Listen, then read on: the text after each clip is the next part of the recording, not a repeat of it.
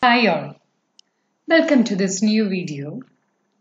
How does the dilation, translation and rotation and inversion works on GeoGebra? This is an example for a dilation. Z is equal to AZ or A not equal to 0. This is a rectangle. What is the procedure for dilation? How does it work? This is dilation. This is the dilation of the rectangle.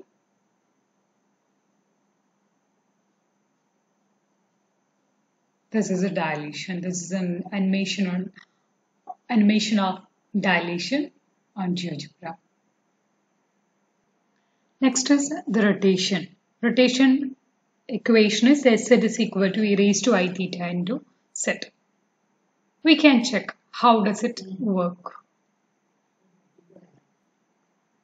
This is a rotation, rotation of the square about a fixed point.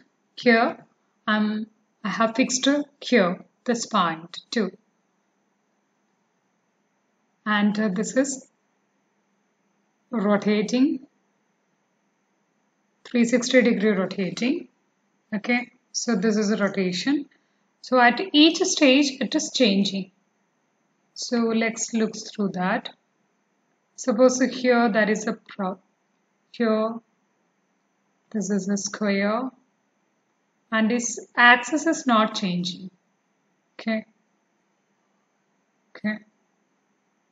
It's rotating.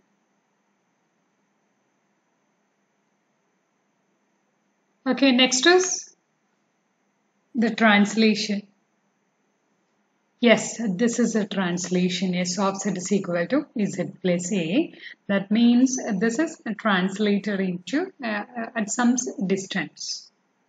Right, z plus a, a distance as it is translated.